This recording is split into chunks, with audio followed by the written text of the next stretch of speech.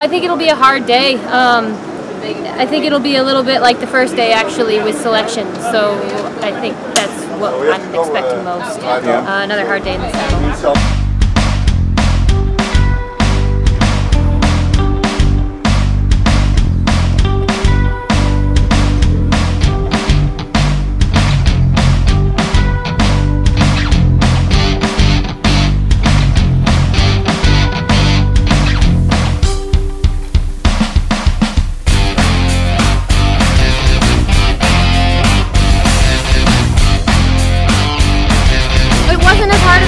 I thought. It wasn't as um, active once that group got off the off the front at an unexpected place. Um, we were a little bit concerned because it was such a large group. Uh, so we actually went to the front for a bit and tried to just keep it close so it wasn't too much of a threat to the GC.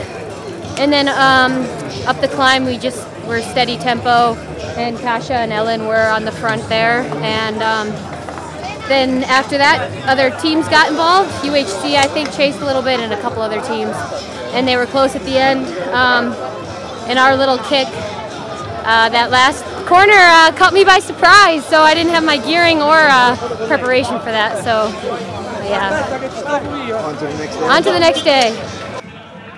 Yeah, it was a little bit uh, less hard than expected, to be honest. I mean, we thought it was really, really gonna be hard, but because the group was off the front, it was a little bit relaxed in the in the bunch. And um, yeah, my job is to uh, to keep uh, Megan calm, and uh, yeah, I really like to uh, like to do that.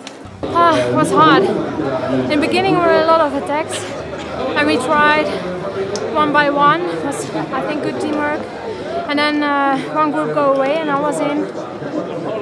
But yeah, also Annemiek was in, so it was like, yeah, uh, my team give pressure and yeah, close to get more.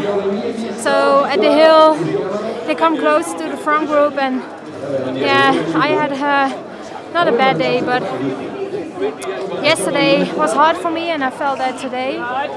But I did what I could and just hanging in the wheel of the group and then on the climb I was and then my teammates Ellen and Megan and Katja and Jessie were in the big group so I hope their result is good and Megan uh, yeah keep her fifth place in the GC I hope.